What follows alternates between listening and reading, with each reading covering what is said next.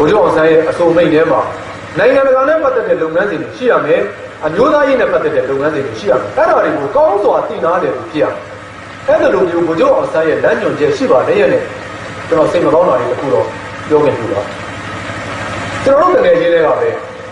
ကိုမြအေးဆိုတာကျွန်တော်တို့88ခေါင်းဆောင်တယောက်ပါသူကဘယ်တော့မှသူ့တတိပုဂ္ဂလသူ့ရဲ့ကိုးကွယ်တဲ့ဘာသာအကြောင်း သူ့ရဲ့မျိုးနွယ်အကြောင်းလူလူဘောပြောပွဲတွေမှာပြောနေမရှိပါဘူးဒီနိုင်ငံပြုပြင်ပြောင်းလဲရေးအတွက်သူတက်ဆွမ်းတဲ့၍စူးစမ်းခဲ့တယ်ကျွန်တော်တို့လည်းသူဖြစ်ရှည်လာများထောင်ထဲမှာနေခဲ့တယ်ပြန်လွတ်လာတယ်မကြောက်မရွံ့ဆက်လုပ်တယ်အဲ့ဒီမှာရောက်ကြလာပါတက်ပြောရင်ဆွဲချမယ်ဆိုပြီးတော့ပြိတ်တဲ့ကားစီခံရမနေ့ကညမန္တလေးမှာအလားတူထပ်ဖြစ်တယ် ကျွန်တော်စိတ်ထဲတော့မကောင်းကျွန်တော်တို့ကကိုယ့်အမျိုးဘာသာသာသနာကိုချစ်တဲ့နေရာမှာကျွန်တော်တို့တပြားမှမလျော့ပါဘူးကျွန်တော်တို့ကိုယ်တိုင်လည်းဥပမာကျွန်တော်ဆိုရင်ရခိုင်ပဋိပက္ခဖြစ်တဲ့အချိန်မှာအမျိုးသားရေးရက်တီချက်အပြည့်အဝကျွန်တော်တို့ပြောခဲ့ပါတယ်သို့တော့နိုင်ငံရေးရကျွန်တော်တို့ဉာဏ်ပညာရဲ့အပိုင်းအလေးနဲ့ပြောတော့မယ်ဆိုရင်ဒီနိုင်ငံမှာကိုယ်နဲ့မတူတဲ့သူတွေကို ဘယ်လိုသဘောထားမှလဲတစ်ဖက်ကကိုယ့်ရဲ့အမျိုးဘာသာသာသနာကိုကာကွယ်စောင့်ရှောက်ဖို့ဆိုတာအမျိုးဘာသာသာသနာချစ်သူတိုင်းဘယ်ဘာသာဘယ်သာသနာဖြစ်ဖြစ်သူတို့ဘာသာပြန်သွားအောင်ကာကွယ်စောင့်ရှောက်မပြည့်စည်အောင်လုပ်ကြတာဓမ္မတာပါသို့တော့အစိုးမရောက်ဘူးလို့ပါအဲ့ဒါလေးတော့ကျွန်တော်နည်းနည်းလေးစိုးရိမ်ဘာကြောင့်လဲဆိုတော့တစ်ဖက်ကကျွန်တော်တို့ဟလာကိုချစ်တဲ့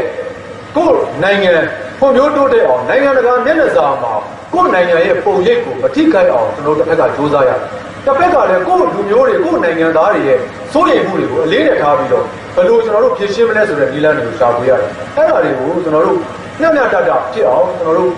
စူးစမ်းရတဲ့အချိန်မှာကျွန်တော်တို့သတိပြုရမယ့်အချက်တွေအများကြီးရှိပါတယ်တကယ်တကယ်ကကျွန်တော်တို့နိုင်ငံမှာမတူတဲ့သူတွေကိုတုတ်တင်ဖြည့်ရှင်းရှင်းလင်းပြဖို့ဒါမှမဟုတ်ရင်လည်းလွတ်ပြလိုက်ဖို့ဖယ်ရှားပြလိုက်ဖို့ဘယ်လိုမှမဖြစ်နိုင်ပါဘူး ဒါဟာရေလိုအမြင်နဲ့မကြည့်ပဲနဲ့ရေရှည်အမြင်နဲ့ကြည့်ဖို့လိုတယ်လို့ကျွန်တော်အဲ့လိုမြင်ပါတယ်နောက်တစ်ခုကနိုင်ငံတကာနဲ့ဆက်ဆံမှုတွေပွင့်လင်းလာတဲ့အချိန်မှာ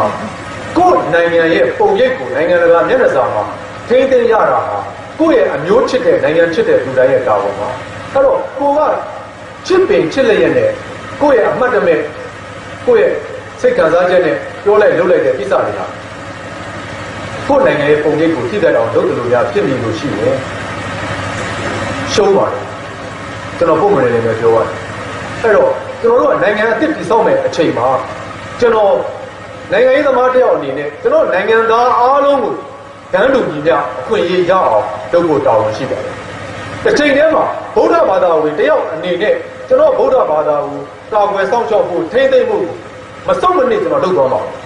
အဲ့တော့ကျွန်တော်ဗုဒ္ဓဘာသာဝင်တယောက်အနေနဲ့ဗုဒ္ဓဘာသာကိုထိမ့်သိမ့်ဖို့ကာကွယ်စောင့်ရှောက်ဖို့ကိစ္စလေးမှာ မှန်မှန်ကန်ကန်ချင်းကပ်တဲ့ဒီလန်အားလုံးကို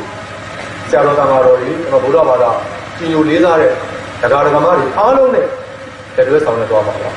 တစ်ချိန်တည်းမှာပဲအားလုံးကနိုင်ငံရေးနဲ့ဆက်ဆက်နေတာဖြစ်တဲ့အတွက်ကြောင့်ကျွန်တော်တို့နိုင်ငံရေးရဲ့အခုအပြောင်းမှာအပြောင်းလဲမှာ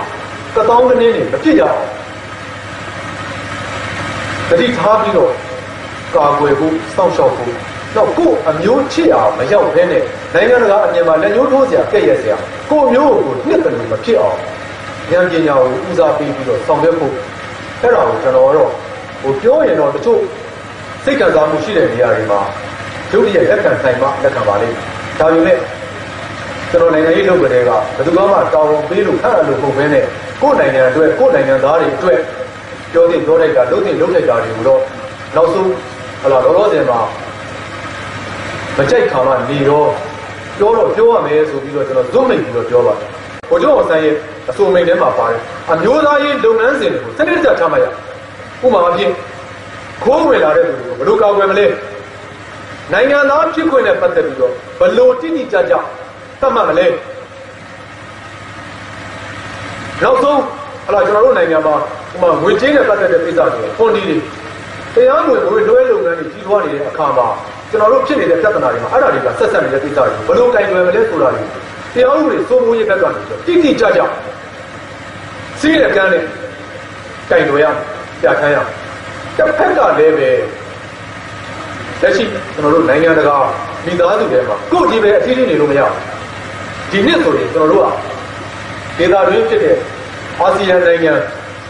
ဥက္ကဋ္ဌတာဝန်ယူရမယ်မကြခင်မှာအာဆီယံနဲ့လွတ်လပ်စွာကုန်သွယ်ခွင့်တို့ လွတ်လပ်စွာခရီးသွားလာခွင့်တို့ပေါ်လာတော့ free visa ပေါ်တာပေါ့အဲ့ဒါဆိုရင်ကျွန်တော်တို့နိုင်ငံနိုင်ငံဗီဇာမလိုတော့ဘူးအပြန်အလှန်တွေဥဒ္ဓဟိုတွေတွားကြတော့မယ်နိုင်ငံတကာဆက်ဆံရေးတွေများလာတော့များလာတဲ့အခါမှာကိုယ့်ဘက်ကမဆုံးရှုံးအောင်ဘာတွေကာကွယ်မလဲဆိုတာကိုကျွန်တော်တို့ကအမျိုးသားရေးတတိနဲ့ကြဲကြဲပြတ်ပြတ်နဲ့ဆွေးနွေးကြရမှာ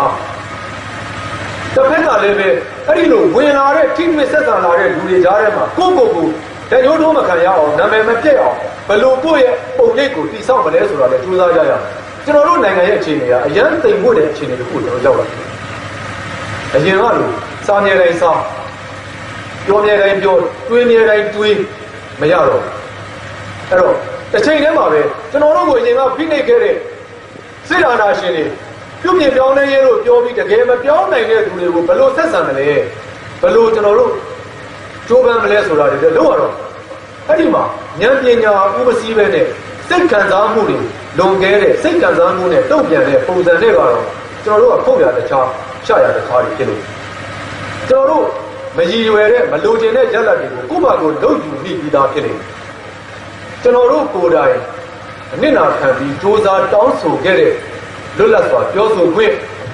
လွတ်လပ်စွာဖော်ထုတ်ခွင့်ဆိုတဲ့အခွင့်အရေးကို ကျွန်တော်တို့ကတောင်းဆိုလို့ကျွန်တော်တို့ကကျွန်တော်တို့ဆိုတော့ကျွန်တော်တို့ဒီပဲပုတ်ပေါ့နော်လမ်းပေါ်ကကြာဆုံးခဲ့တဲ့သူတွေထောင်ထဲမှာကြာဆုံးခဲ့တဲ့သူတွေတောထဲမှာကြာဆုံးခဲ့တဲ့သူအများကြီးပိဆက်ပြီးတော့ဒီလောက်ကလေးပွင့်လင်းမှုရလာတဲ့အချိန်မှာအဲ့ဒီအခွင့်အရေးကိုပြည်သူအမိခံထားတဲ့ကျွန်တော်တို့အထဲကရိုးရိုးသားသားပဲအမျိုးဘာသာသာသနာချစ်တဲ့သူတွေလည်းပါပါတယ်ဒါကိုအတုံးချနေတဲ့သူတွေလည်းပါပါတယ်အဲ့ဒါလိုနဲ့ ကိုတောင်းတဲ့အခွင့်အရေးကိုကိုယ့်ဘာကိုပြန်ပြီးတော့ဖြည့်ဆည်းတဲ့အခြေအနေမျိုးကိုဘယ်အချိန်မှလုပ်ပြတယ်လဲဆိုတော့အစီရင်ခံစာတင်မဲ့ကုလသမဂ္ဂမှာအစီရင်ခံစာတင်မဲ့လူ့ကိုယ်ရေးထူးကိုယ်တဲ့ရောက်တဲ့အချိန်မှာဒီလိုလုပ်မျိုးကိုလုပ်